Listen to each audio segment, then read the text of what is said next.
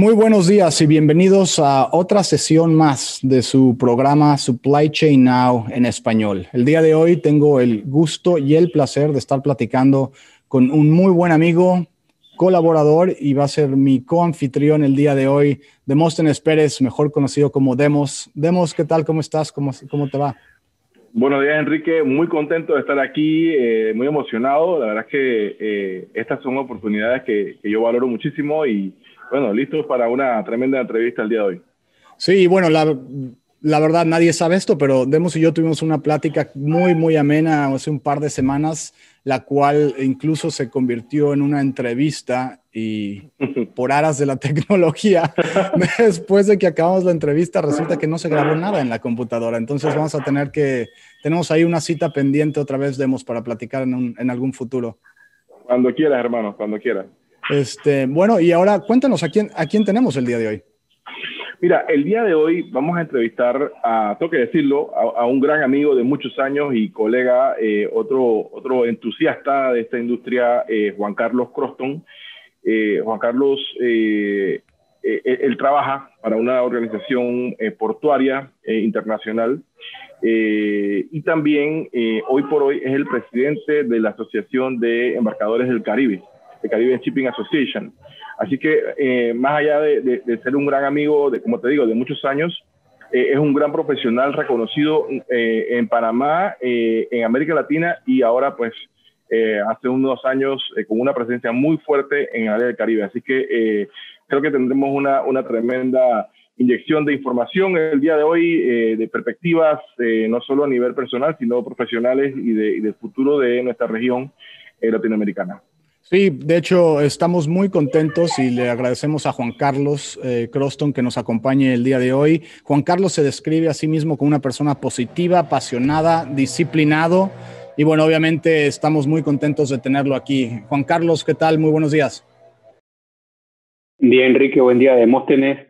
Yo no sé si el tema de la inyección es apropiado con el tema de la vacuna andando, pero eh, vamos a ver cómo, eh, cómo, cómo fluye la conversación. De todas maneras, gracias por la, por la invitación, Enrique. ¿Cómo está el tema de la vacuna? ¿Es un proyecto logístico a nivel global eh, como nunca antes se había visto, ¿no? Hablando de la vacuna, ¿cómo, ¿cómo está en Panamá? Tú estás ahora en Panamá, ¿cierto, Juan Carlos? Yo estoy en Panamá, yo nací y he crecido aquí en Panamá. Eh, he estado fuera del país, bueno, eh, por temas de, de, estudio y trabajé también a bordo de barcos, pero lo haremos después. Eh, con el tema de la vacuna ha estado lento. Creo que eh, las excepciones son los países que van adelantados. Y creo que es como Tesla, por ejemplo. Y los Musk tenía idea de hacer no sé cuánta cantidad de carros y siempre ha estado por detrás porque se dan cuenta que la producción es muy difícil. Y cuando ves Shark Tank, por ejemplo, cada vez que alguien va a Shark Tank y le dicen, tú vas a, a, fabricar, no, no, no, no te metas en eso y nadie fabrica, porque la fabricación, la producción es súper complicada. Entonces, bueno, los farmacéuticos se han dado cuenta que eso también eh, la, cadena tiene el arranque desde las fábricas es súper complicado y me puedo imaginar también que la gente trabajando allí, si cae enferma, cae la producción. Así que es un círculo que tienes allí andando. Vamos a ver cómo se establece en Panamá. Se estaba esperando recibir 40 mil vacunas en enero y solamente llegaron 12 mil. Eh, y bueno, me imagino que así irán dando, ves en Europa las peleas que están habiendo entre la Unión Europea y la, y la farmacéutica, así que no podemos esperar menos acá en Panamá. Sí, no, va a ser definitivamente algo que va a marcar este año, este, tanto como la pandemia marcó el año pasado, y esperemos que a través de las diferentes empresas de logísticas y, y la cadena de suministro, pues obviamente logremos lo más pronto posible el, eh, el ofrecer esto a, las personas que realmente lo necesitan y empezar a vacunar a todo mundo. De hecho, este, platiquemos un poco de ti al principio, Juan Carlos. Nos encantaría conocerte un poco más como persona. Eh, cuéntanos un poco más de, de, ti, de tu personalidad, de cómo, cómo, cómo llegaste a, ahora a, esta industria de la logística. Yo, yo crecí básicamente con mi mamá y mi mamá eh, me pasó muchas cosas. Ella eh, es una ávida lectora, le gusta leer de todo y no sé si has escuchado un, actor, un autor que se llama Erich von Daniken. El tipo creía en, en, que Machu Picchu era un, un, un control extraterrestre de, de, de, naves espaciales y esto, y además tenía todos los libros de él, se leía el Reader's Digest Selecciones, eh, entonces, bueno, esa parte de la lectura me la pasó. Mi mamá también tiene un corazón así de grande y bueno, esto funciona porque es muy dada a la gente, pero también es muy emocional. Entonces venía todo ese paquete junto. Y bueno, yo crecí, eh, mi familia, hay varias personas que han trabajado en barcos anteriormente y cuando yo iba saliendo de la secundaria, eh, mi mamá le, le, mencionaron que, oye, hay futuro en Panamá porque en el año 2000 revertía el canal de Panamá de manos estadounidenses al gobierno de Panamá. Así que se perfilaba un futuro para eso y mi mamá y mi papá me dijeron, oye, pensábamos que deberías meterte. Entonces yo me fui a estudiar a la Escuela Náutica de Panamá, que es una escuela de Marina Mercante. Y estudié ahí cuatro años y luego me embarqué un año. Yo trabajé a bordo de un barco de contenedores, íbamos alrededor del mundo literalmente porque salía de Panamá, iba a Los Ángeles, cruzaba el Pacífico, llegaba a Tokio, Japón, eh, Tokio, Osaka en Japón, luego hacía eh, Busan en Corea, eh, eh Kaohsiung en, en Taiwán, eh, Hong Kong, Singapur, luego atravesaba el Océano Índico, llegaba a una isla al sur de India que se llama Sri Lanka, subía el, el, Mar Rojo, atravesaba el Canal de Suez, Mar Mediterráneo, subía a Europa, entonces iba... ¿Cuántos años tenías en, en este momento de tu vida? 21 ha de haber sido, me imagino que haber sido una experiencia increíble para, para ti, 21 años. Eh, el, y el barco, cuenta, o sea, ¿qué hacías en el barco? Se me hace una historia sumamente bueno, yo, yo, yo estaba practicando para ser oficial, así que en ese tiempo estaba de cadete y hacíamos de todo, estábamos aprendiendo el tema de la navegación, el tema del mantenimiento del barco, el tema de las cartas náuticas, el tema de la guardia. Eh, y bueno, hago un paréntesis aquí, porque eso, mi corazoncito sigue estando, no sé si han escuchado del tema de los, de los, de los tripulantes en los barcos, con el tema de la pandemia, eh, bueno, la persona, los tripulantes de barcos suben con un contrato y entonces después de cierto tiempo, 6, 8, 10 meses, tiene otra persona y, y da rotación. Pero el tema de la pandemia ha hecho muy difícil esos cambios.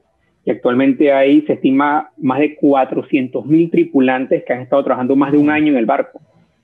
Y bueno... Eh, Esto nunca, ni siquiera me lo imaginé. Obviamente, como no estoy tan involucrado en esa parte de la industria, ni siquiera imaginé que era un problema, pero ahora que lo mencionas, pues bueno, es, hace, hace sentido. Hace, eh, ¿Cómo pueden, hay alguna forma de ayudarle a estas personas o realmente nada más es esperar a... No, bueno, ojalá hubiera más acción. Te, te, te, explico, quizás ha sido un problema de nosotros en la industria no visibilizar a esta gente eh, ¿Sabes? Porque que tú no lo sepas eh, es un problema de nosotros, no, el no decirle, así como los frontline workers, eh, las enfermeras y los doctores, así la sociedad en general debería estar consciente de los 1.2 millones de tripulantes que trabajan en barco que hacen que nosotros podamos estar en esta llamada en Zoom, tengamos nuestros zapatos, nuestra ropa, nuestros juguetes, nuestra mancuerna hacer ejercicio.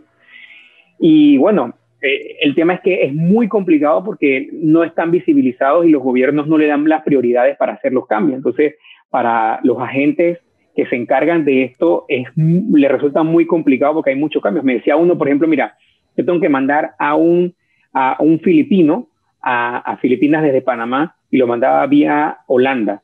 Pero ¿qué pasó? El primer viaje que mandó, cuando llegó el, el filipino a Holanda, Filipinas había cerrado las fronteras. Entonces, eh, se tuvo que quedar allá. Cuando fue a mandar al siguiente filipino, le dijeron, no, no, no, no, usted tiene que mandarme una carta de Filipinas, de no sé quién, del ministerio, para que usted me asegure de que cuando él pase por acá en tránsito en Holanda, él va a llegar a su destino a Filipinas. Así que las regulaciones van cambiando constantemente y hay un tema con esta gente, ¿sabes? Tema psicológico, tema mental, no ha visto en su familia y tienes a 400.000 tripulantes a bordo de los barcos y tienes a 400.000 personas que están en tierra esperando a montarse a poder trabajar. Como, como lo dices, es algo que realmente no se dimensiona, ¿no? Es un problema de proporciones importantes y no se menciona tanto como debería. Entonces eso puede ser uno de nuestros llamados a acción ahora en este, en este episodio contigo. Ya lo tomé aquí como nota y bueno, creo que les debemos una, sincera agradecimiento a todas estas personas, ¿no? Porque como tú dices, como los, eh, las personas que están en la parte de los camiones o las bodegas o la distribución, esta gente está arriesgando su vida literalmente y está quedándose incluso atorada en diferentes partes del mundo por tratar de ayudarnos en, en, esta, en esta pandemia y a lo largo de estos años. Totalmente. Muy buen punto. Y, yo, yo quería terminar. aportar ahí. Ah, vale. Dale. Dale, no, yo, yo, yo, quería aportar que definitivamente es un tema que solo se ha tratado en medios especializados eh, del mundo marítimo. Eh, he visto alguna que otra noticia relacionada eh, en los medios que, que, digamos que son mucho más abiertos en la industria, pero es muy poquito lo que se habla de este tema y definitivamente eh, es un tema supremamente importante. Todos los que tenemos relación con alguien en, en, el mundo naviero o el mundo marítimo, conocemos la, la, el impacto, pero no ha sido atendido de la manera en la que debería, producto de esa misma falta de visibilidad, ¿no? Y no solamente el tema de poder eh, eh, ir a sus casas, sino que hay, hay, un tema romántico que uno tiene en la cabeza del, del, marino que llega al puerto y se baja y tiene su novia y todo esto. Y la realidad es que ya no es así. los barcos, por ejemplo, de contenedores se quedan eh, 24 horas en puerto, entonces esas 24 le toca trabajar al, al, al, tripulante 12 horas. Y ahora con la pandemia las restricciones para bajar son muchas, así que esta persona básicamente está en el barco los 12 o 14 o 16 o 10 meses que ha estado, ha estado en el barco, no se puede bajar, eh, para comprar tiene que pedirle a alguien claro. que le lleve las cosas, es súper complicado, súper complicado. Sí, claro, es, es bastante, eh, la vida de, de, esas personas a final de cuentas es algo muy interesante que normalmente no, no, no conocemos, inclusive gente que ha estado en la industria muchos años, entonces es algo que me da mucho gusto que menciones, creo que es un tema en el que podríamos... Eh, hacer un episodio completo, ¿no? El entrevistar a lo mejor a alguien eh, que como tú ha pasado esta experiencia. Pero volviendo a ti, nos estabas diciendo entonces, tuviste esta increíble experiencia, yo diría única en la vida, de, de, estar arriba de un barco y yendo a todos estos puertos alrededor del mundo. ¿Estuviste haciendo eso por cuánto tiempo, Juan Carlos? Estuvo un año, porque okay. eh, tuve, he tenido muchas personas que me han guiado positivamente en la vida, entonces una de esas personas me recomendó, oye, sigue estudiando. Y entonces yo apliqué a una universidad en Suecia que se llama The World Maritime University. Eh, apliqué para una beca porque no teníamos los recursos y hubiera ido para la universidad con la plata de mi mamá. Mi mamá ahora tengo que vivir en la calle. Así que eh, afortunadamente salió esa beca. Eh, así que ya te podrás imaginar lo que yo pienso del tema de la educación y el tema de, de, del apoyo económico a las personas. Eh, pero bueno, me fui a Suecia un año y medio, eh, conseguí una maestría en asuntos marítimos, y regresé a, a Panamá. Er, yo llegué en septiembre, en octubre del 2001, o sea, justo después de los ataques de septiembre, así que también la economía. Y bueno, yo estuve trabajando en una compañía eh, de importación y exportación por un año y tiempo, mientras conseguí una oportunidad para trabajar en, en el operador portuario que trabajo hoy en día, que se llama Manzanilla International Terminal, con el que tengo 17 años trabajando hasta ahora. Oye, es, es eh, muy interesante y bueno, demos eh, que está de vuelta con nosotros nos va, eh, nos va a llevar un poco de la mano a través de tu carrera profesional, pero antes de platicar de eso, eh, volviendo un poco a tu infancia o a tu juventud, eh, has mencionado a tu mamá en varias ocasiones, me imagino que así es un, un ejemplo importante en tu vida. ¿Alguna, ¿Algún tipo de enseñanza, consejo? ¿Qué, ¿Qué, es lo que más, qué es lo que aprendiste de tu mamá cuando, cuando hablas de ella con tanto orgullo? Este, ¿Qué es lo que te dejó tu mamá y tu papá, me imagino? No, mi mamá tenía un refrán que me lo repetía hasta el cansancio y yo no sabía cuánto, y, y, y era, ella decía, estudia y no serás cuando crecido el juguete vulgar de las pasiones ni el esclavo servil de los tiranos. Wow. Ay, oye, estaba hasta, vas a tener que volver a, vas a tener que volver a decirlo porque es muy, muy profundo y muy, Super. muy real. Ah, sí. ¿Qué es lo que decía nuevamente? Eh, ¿Estudia? estudia y no serás cuando crecido el juguete vulgar de las pasiones ni el esclavo servil de los tiranos. Muy poético también. Sí, sí, sí, sí, Yo, yo, no sé dónde se lo leyó ella, pero lo repetía constantemente en la casa. Eh, no, y, y, el tema de la educación para mí, mi mamá, o sea, hubo mucho sacrificio en la casa, eh, pero siempre con la constancia del estudio, el estudio, el estudio. Eh, y bueno, eh, yo veía gente en, en, mi, en, mi, barriada, en mi comunidad, que hacía cosas que yo no estaba, eh, no, no, podía hacer por, por, mi mamá.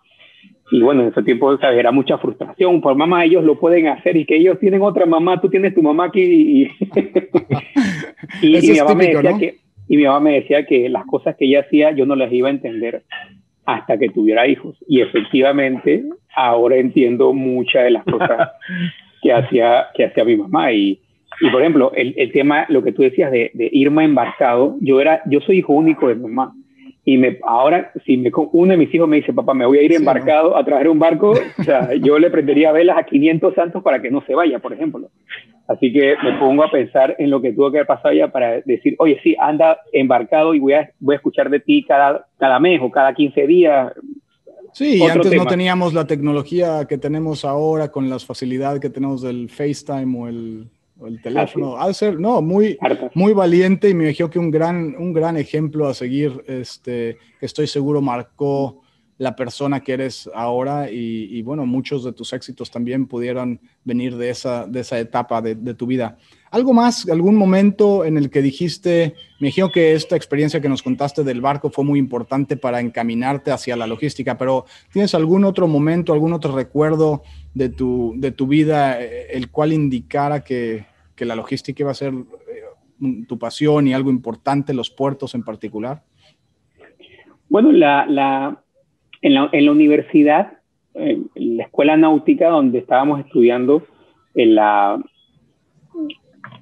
en ese momento, como te explicaba, estábamos pre-transición del canal de Panamá. Entonces, el enfoque del 99% de los estudiantes de la escuela náutica era poder coger experiencia para aplicar para ser un piloto en el canal de Panamá. Y el, el, trabajo de piloto en el canal de Panamá, aquí en Panamá, tiene un nivel muy, muy alto eh, por la paga y porque son 300 pilotos en un país de 4 millones de personas. Así que eh, eh, los pilotos ganan muy, muy bien.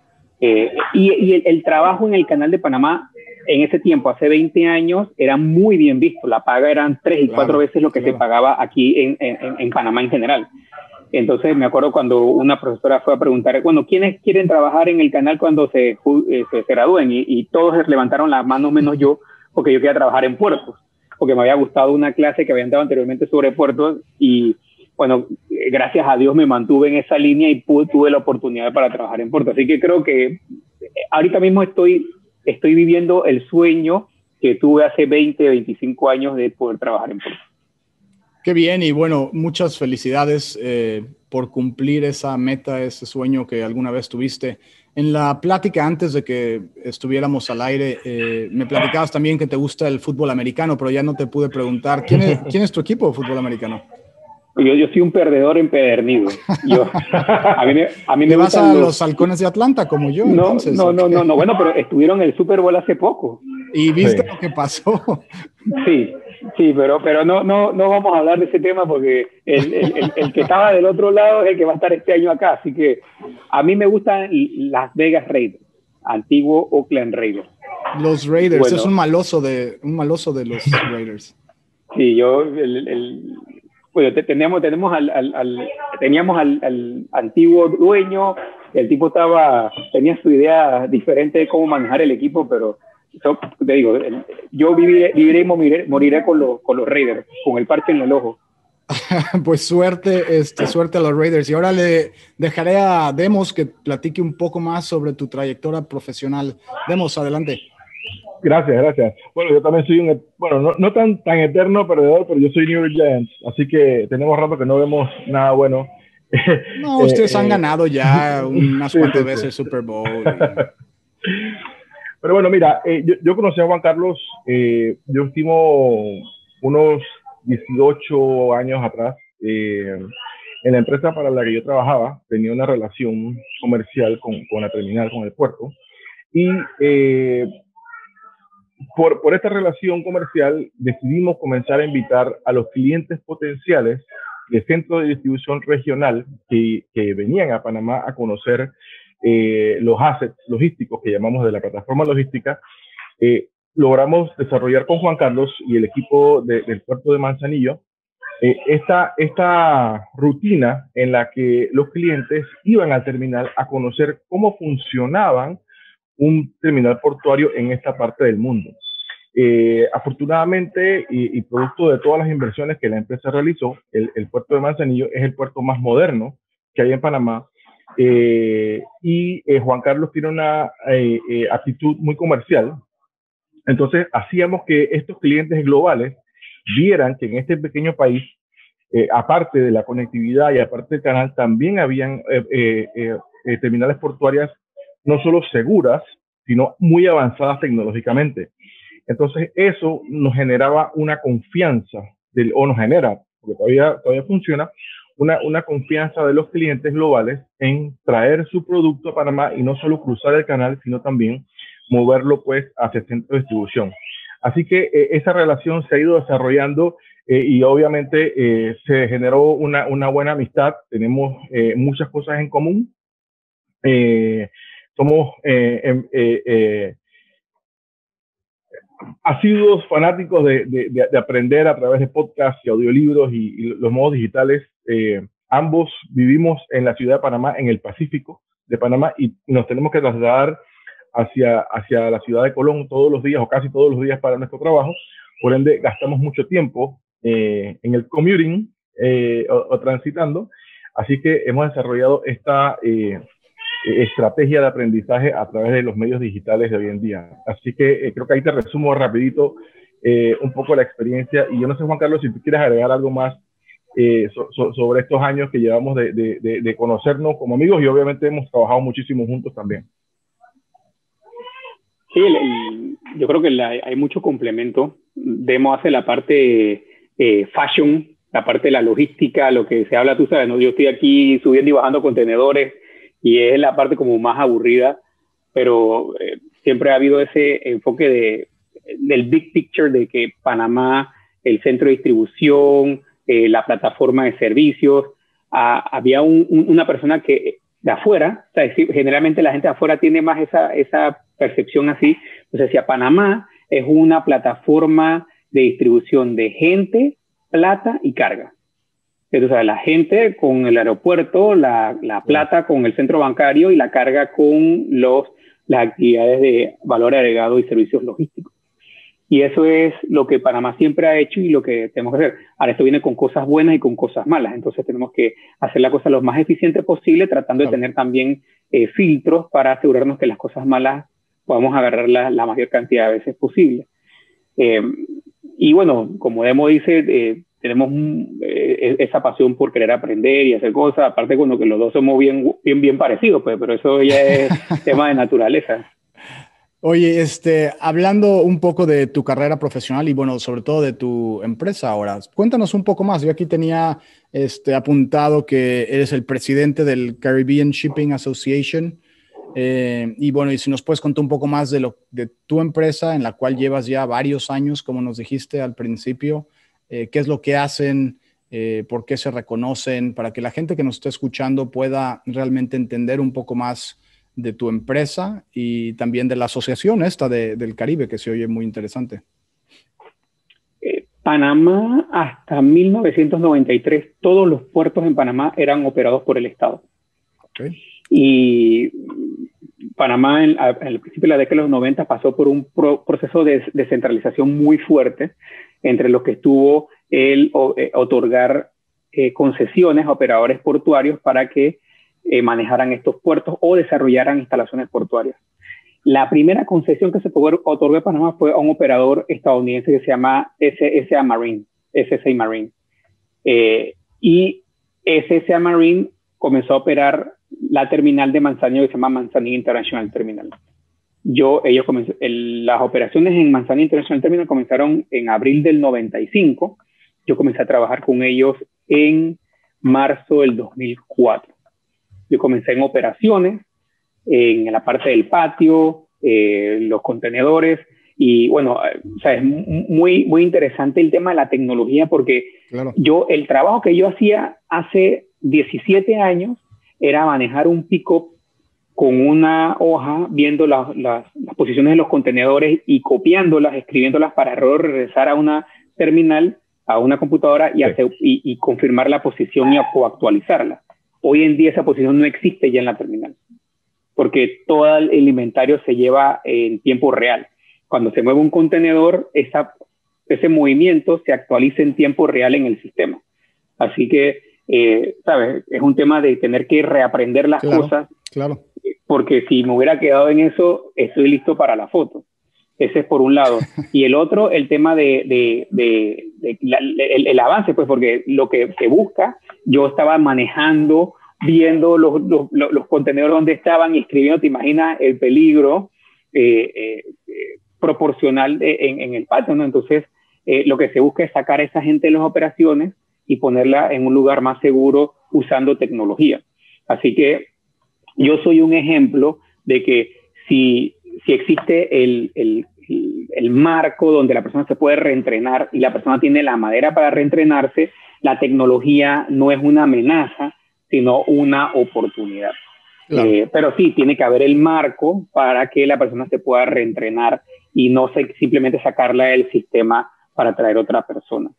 Así que bueno, yo comencé allí y después me dieron oportunidad en la parte comercial y ahora estoy manejando la parte comercial y la parte de asuntos corporativos, la parte de responsabilidad social empresarial en la, en la compañía. Eh, y también la, la, compañía tiene un tema social muy fuerte, eh, no solamente en el apoyo a la comunidad, sino también de participación en la sociedad, en políticas públicas. Entonces, por ejemplo, yo representé a la compañía, a Manzanillo International Terminal, en la Cámara Marítima de Panamá, yo fui presidente de la Cámara Marítima de Panamá, eh, y ahora estoy representando a la compañía, bueno, tengo un par de años en el Caribbean Shipping Association y tengo la presidencia desde el 2018. Mi presidencia va a terminar ahora en octubre del 2021. Hay algunos, algunas ventajas como poder ir al, Caribe dos veces al año. Claro. Eh, a la gente le cuesta mucho trabajo porque le digo, oye Enrique, sabes que me tengo que ir de trabajo para eh, Santa Lucía o para Guadalupe o para eh, Jamaica, para Punta Cana. Entonces la gente dice, no, no, no, no, tú te vas de vacaciones, no te estés echando mentiras. Pero sí, eh, la, en, sabes, en el Caribe todavía mucho el negocio se hace en el bar. y, y, todavía se ve de que se cierran negocios de un cuarto de millón de dólares en una hoja de servilleta. Por ejemplo, tú firma aquí, firma aquí y ya vendimos dos, dos montacargas que valen un cuarto de millón de dólares y listo, pues vamos para adelante. Eh, todavía existe esa jovialidad y, esa, y ese ambiente en el que se puede hacer negocio eh, con un apretón de manos, pero todavía se, también se siente el tema de que viene la tecnología, que vienen las plataformas, que vienen las multinacionales. Entonces estamos en una transición bien interesante en la región viendo cómo esos dos mundos no choquen, sino que se puedan consolidar o se puedan complementar el tema de la familiaridad con el tema de la, la, más formalidad y la tecnología. Eso yo creo que es algo que vemos y vivimos todos en Latinoamérica en general, ¿no? Creo que eso que describes es algo que está pasando por nuestra región muy seguido. ¿Cuál es la finalidad, cuál es el objetivo de la, de la asociación? ¿Qué es, ¿Qué es, lo que busca esta asociación de, del Caribbean Shipping Association? La finalidad principal es promover un sector marítimo sostenible y eficiente en la región.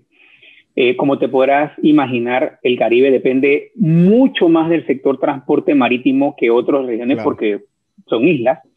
Así que es muy importante para las economías de los países que el sector marítimo sea eficiente y sea responsable. Entonces, tienes por un lado el Caribe, en el que uno de cada tres cruceristas a nivel mundial va allá. Eh, es el destino más grande en temas de cruceros, pero cuya participación ha ido bajando en los años. Hace 15 años era uno en dos cruceristas que iban para el Caribe, ahora es uno en tres. Eh, hay mucha competencia, entonces eh, tiene que haber mucho cuidado del ambiente porque lo que se vende es playas, eh, experiencias y destinos, pero ahora también tienes un crucerista que piensa mucho más y dice, ¿para qué yo quiero ir para la playa? Yo quiero vivir la experiencia. Entonces, ahora, por ejemplo, un crucerista eh, que va en un, en un, barco, baja en una isla y no va directamente a la playa, sino que él quiere ir a cocinar con las familias de la isla. Entonces hay paquetes donde se traen al crucerista y se lo lleva a casas de familias para que vaya a cocinar y viva la experiencia auténtica del destino.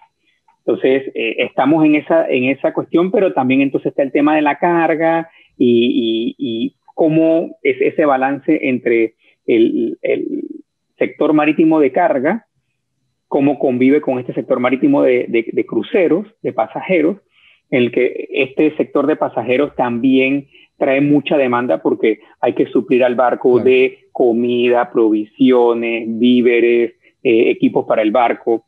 Así que hay lo que buscamos en la asociación para contestar tu pregunta es que estos dos mundos coexistan de una manera sostenible y eficiente.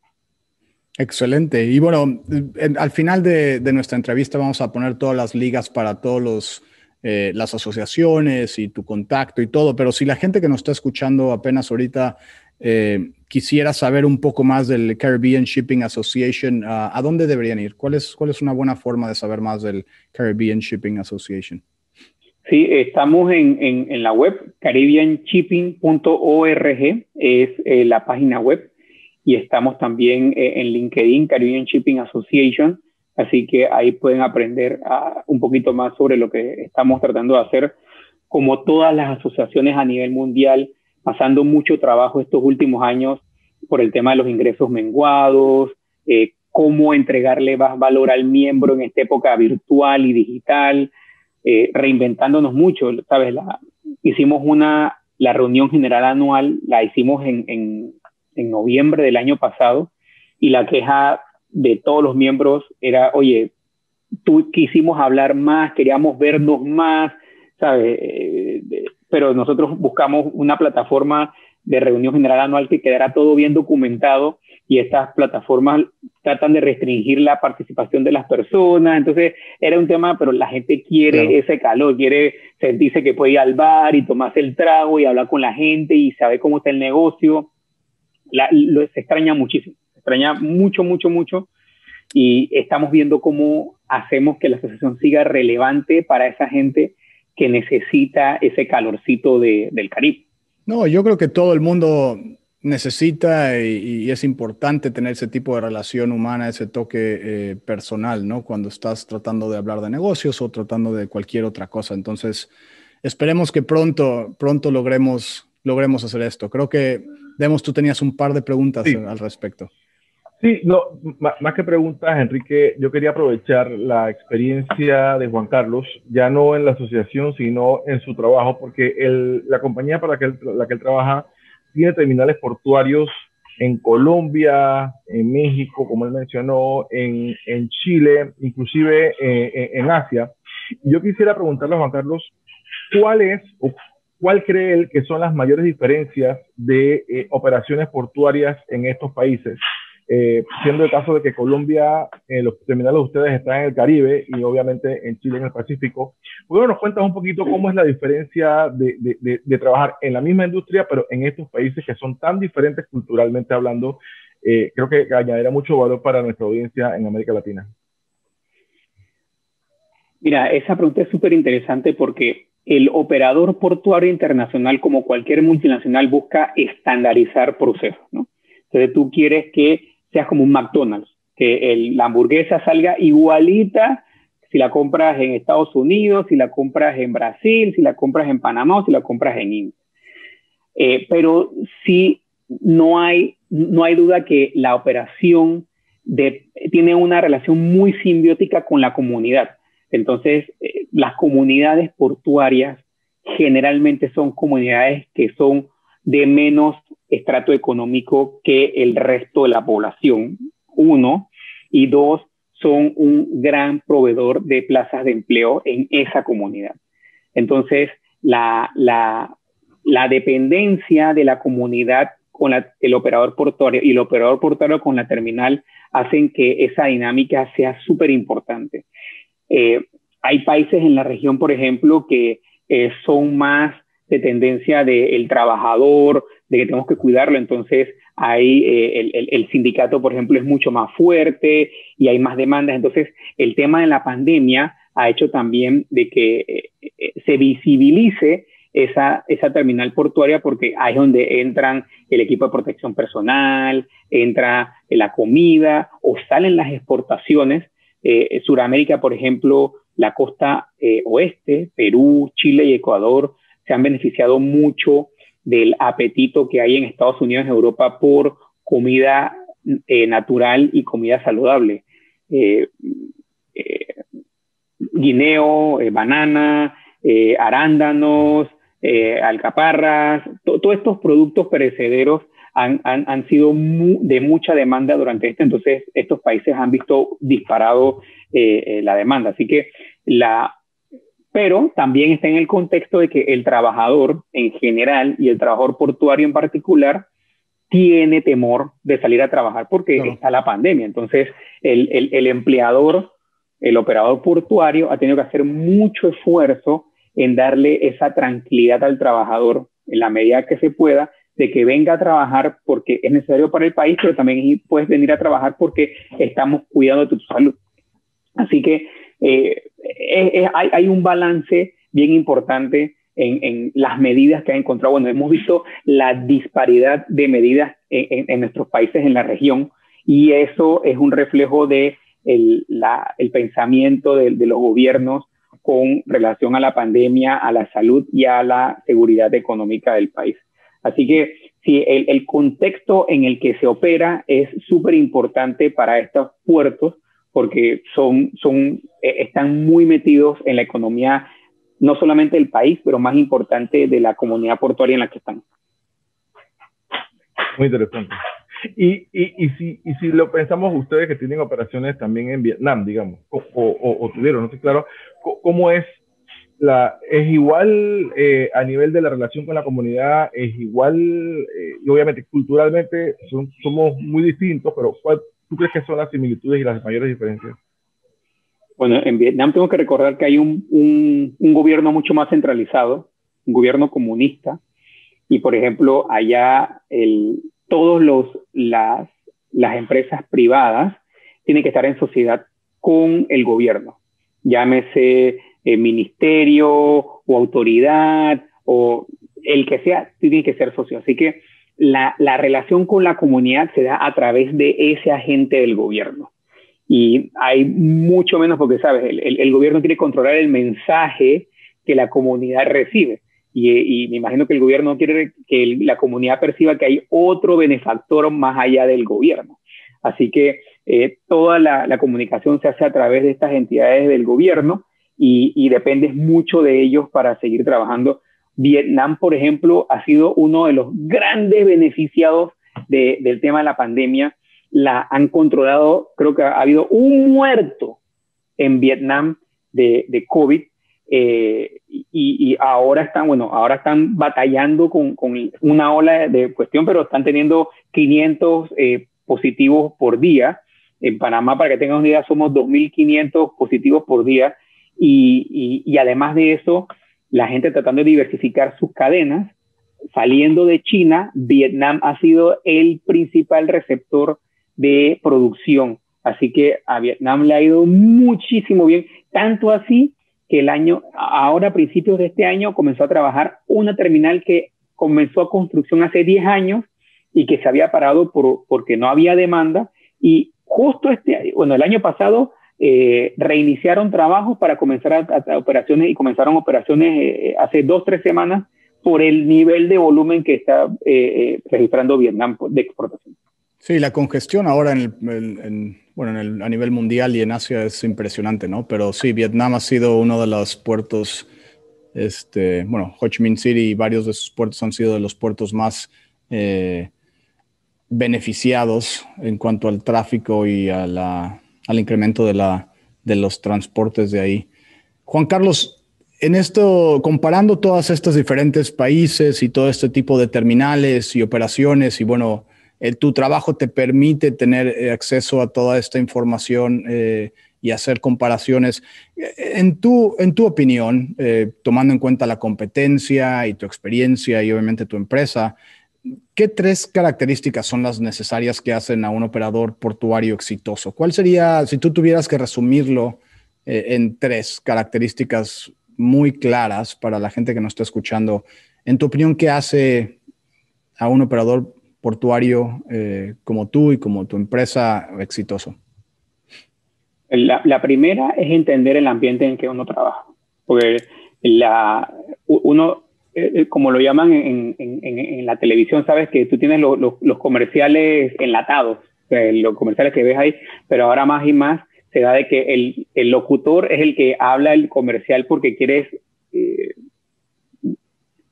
quieres modular el mensaje. Entonces, el, el, operador tiene que modular ese mensaje sabiendo de que vienes con una operación enlatada, pero tienes que modularla al mensaje. En el caso de nosotros diríamos que quieres tropicalizar el mensaje y no puedes traer una operación 100% eh, para el Caribe que para Europa, por ejemplo. En el caso de nosotros, traemos unas grúas, eh, Enrique, que son robots. O sea, las, las grúas hacen el 98% de los despachos automáticamente. Entonces, la grúa, cuando viene un transportista a buscar un contenedor, viene el transporte Enrique Álvarez, entonces yo vengo a buscar el contenedor X. Cuando pasas por un, un lector, las grúas que están en el patio detectan que tú estás entrando dicen, ah, tú vienes a buscar el contenedor, se comunican con nuestro sistema operativo para preguntarle dónde está el contenedor. Luego, la máquina que está más cerca selecciona automáticamente esa, esa orden de trabajo, se ubica en el lugar, busca el contenedor, mueve los contenedores que estén que haya que mover, saca el contenedor y cuando tú te ubicas abajo, él detecta que tú estás abajo y pone el contenedor. Eso sin ninguna persona. Eso es en Panamá, eso es la o en todas sus terminales. eso es en Panamá.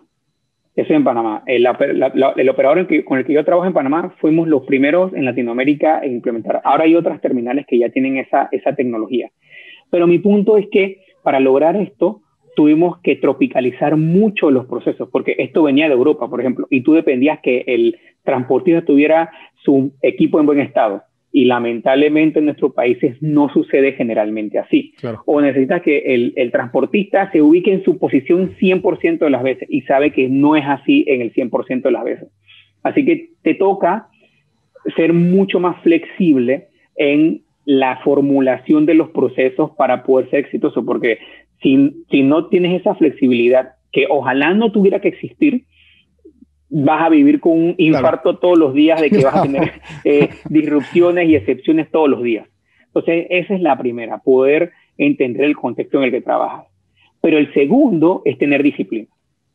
O sea, tienes que tener esa constancia de que, hey, yo quiero lograr esto y van, vamos a tener eh, 75 mil razones por las cuales no hacerlo, pero si tú sabes que eso es lo correcto para traer más beneficios a la operación, que le va a redundar beneficios al transportista, a la línea naviera, a los usuarios, tienes que ah, lograrlo. la, disciplina es sumamente importante. Y la tercera, yo diría que tener eh, un poquito de humildad, porque, sabes, la, realidad es que nosotros movemos el 90% de todo lo que llega a los países. Y, en algún momento podemos decir, no, bueno, si nosotros no trabajamos, no trabajamos y, y se para todo el país, pero hay que tener un poquito esa humildad para decir, bueno, yo soy parte de un engranaje y tengo que seguir eh, eh, trabajando y tengo que seguir moldeando el sistema para que sigamos todos adelante. Así que yo diría que esas son las tres.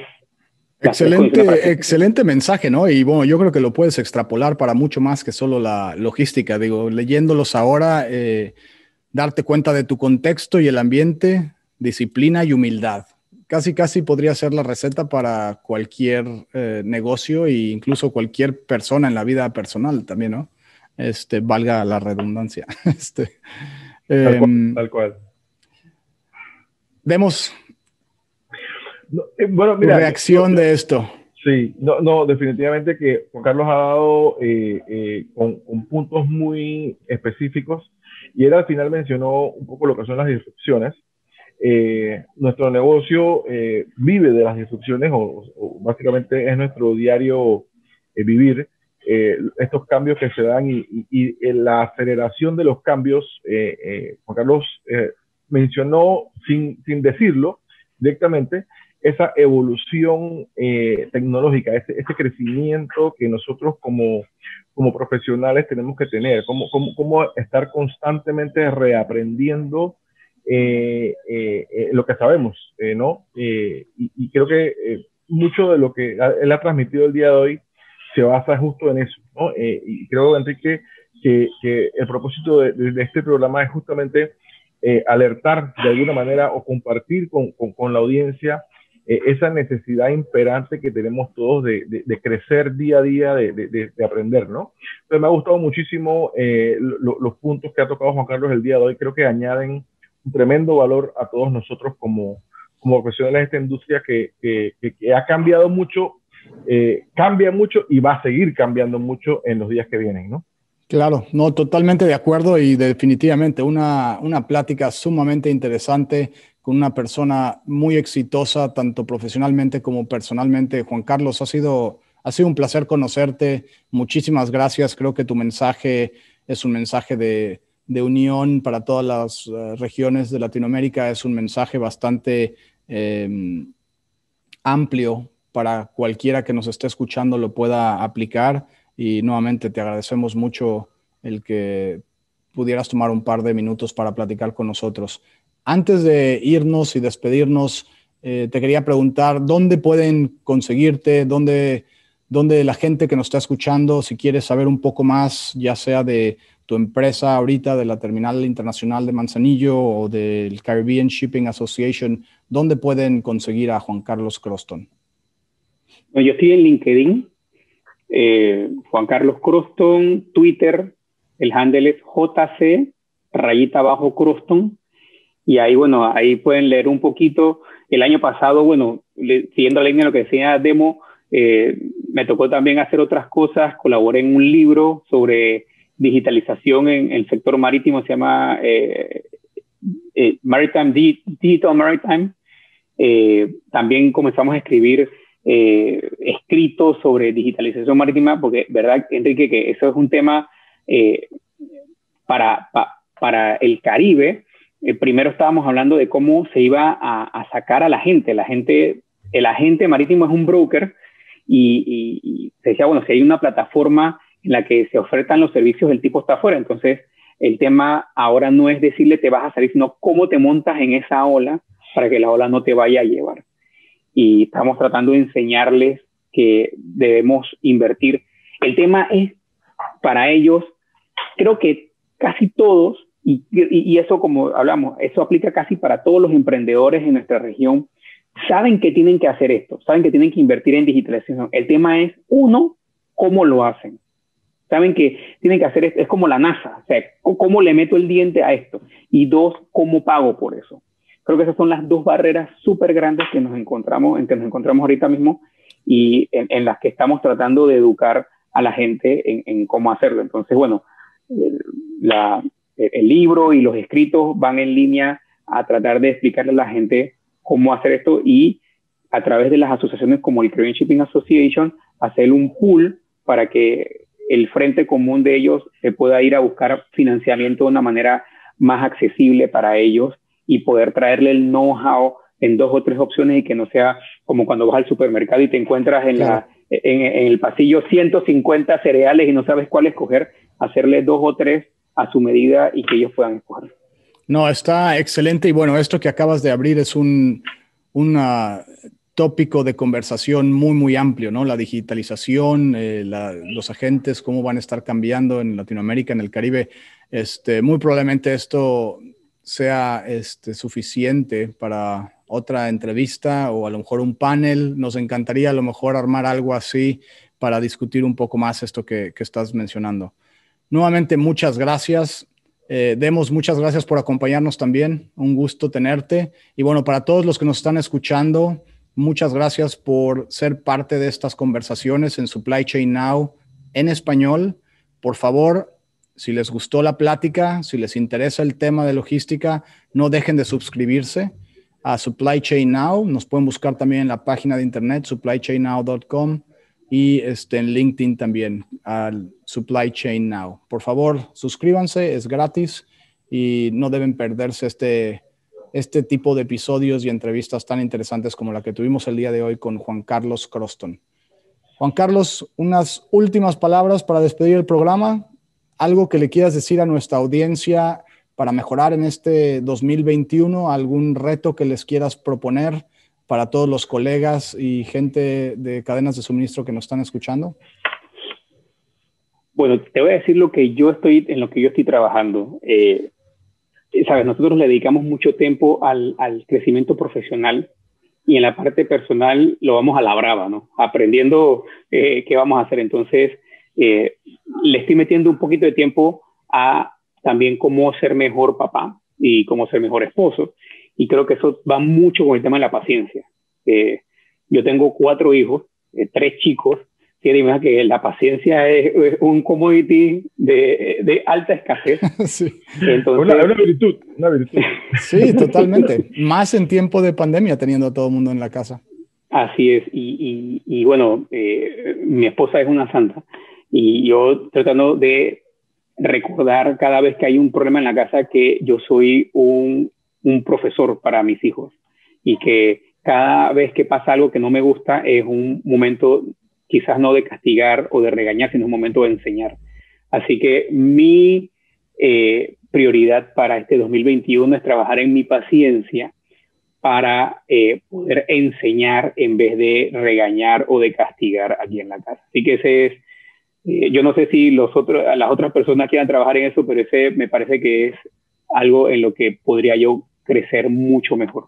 Pues bueno, ya lo tienen. Este excelente mensaje y excelente propósito de año nuevo. Y yo creo que para todos los próximos años que nos quedan de vida, paciencia, paciencia, este, y vuélvanse un buen maestro de sus hijos eh, para que el mundo siga mejorando. Juan Carlos, muchas gracias nuevamente. Demos, muchas gracias. Hasta la próxima. Saludos. Gracias, Enrique.